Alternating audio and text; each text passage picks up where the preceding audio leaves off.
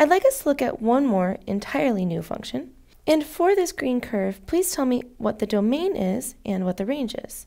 Put both of your answers in interval notation, and be sure then that you keep track of whether or not either end is closed or open.